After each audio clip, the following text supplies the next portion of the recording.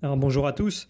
Aujourd'hui, nous continuons notre lecture du catéchisme de l'Église catholique au travers du compendium et nous en sommes rendus à la question numéro 276 qui est Quelle est la place de l'Eucharistie dans le plan divin du salut?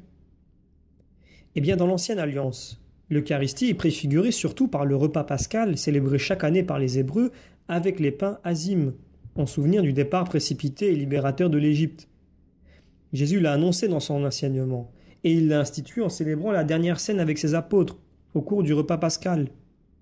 Fidèle au commandement du Seigneur, vous ferez cela en mémoire de moi. L'Église a toujours célébré l'Eucharistie, surtout le dimanche, jour de la résurrection de Jésus.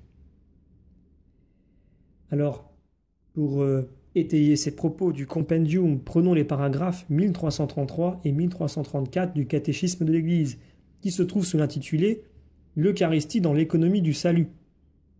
Eh bien, au cœur de la célébration de l'Eucharistie, il y a le pain et le vin, qui, par les paroles du Christ et par l'invocation de l'Esprit Saint, deviennent le corps et le sang du Christ.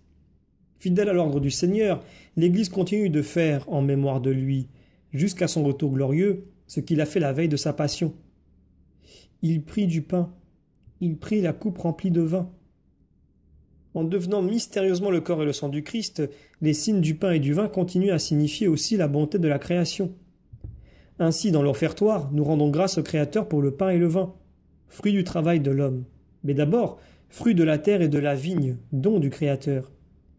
L'Église voit dans le geste de Melchisédek, roi et prêtre, qui apporta du pain et du vin, une préfiguration de sa propre offrande.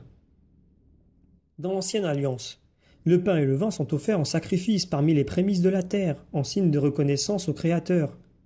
Mais ils reçoivent aussi une nouvelle signification dans le contexte de l'Exode. Les pains azim qu'Israël mange chaque année à la Pâque commémorent la hâte du départ libérateur d'Égypte. Le souvenir de la manne du désert rappellera toujours à Israël qu'il vit du pain de la parole de Dieu, voir Deutéronome 8.3. Enfin, le pain de tous les jours est le fruit de la terre promise, gage de la fidélité de Dieu à ses promesses.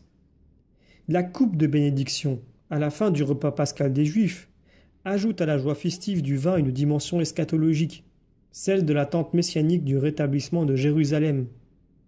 Jésus a institué son Eucharistie en donnant un sens nouveau et définitif à la bénédiction du pain et de la coupe.